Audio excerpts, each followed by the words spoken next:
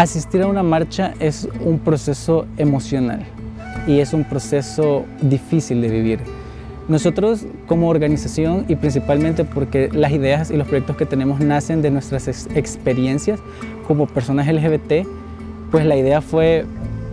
cuando vas por primera vez a la marcha a veces es como tirarte a una piscina sin saber nadar, o sea, es te aventás y realmente a veces tenés ciertas ideas, tenés eh,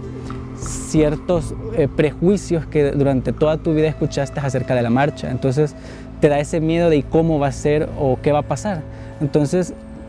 parte de lo que quisimos hacer con este proyecto en mi primera marcha fue dar un acompañamiento a las personas que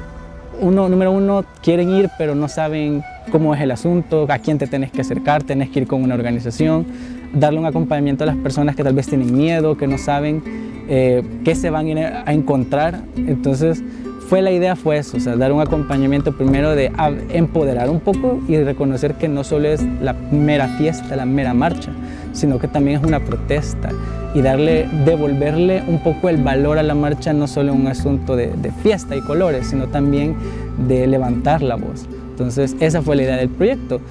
darles un acompañamiento a las personas, a la vez también que poder conectar con las personas que nunca han ido, porque muchas de esas personas no han ido porque nunca han tenido con quién ir. La comunidad LGBTQ en El Salvador es muy diversa, es diversa, pero y, hay que ser sinceros, y, y yo lo comento, muchas personas van a decir, es que no hay comunidad, está la población, pero no hay comunidad.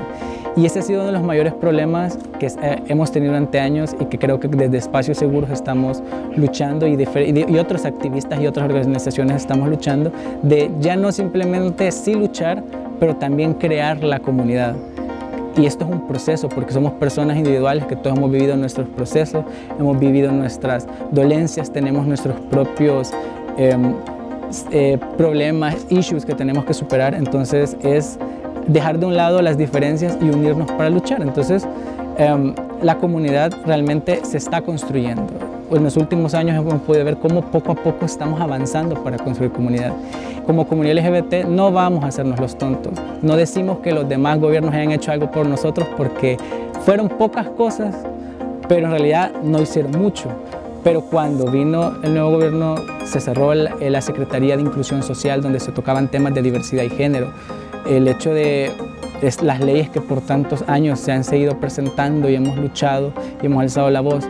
para que se aprueben, para que la Asamblea las apruebe, simplemente se engavetaron y ya.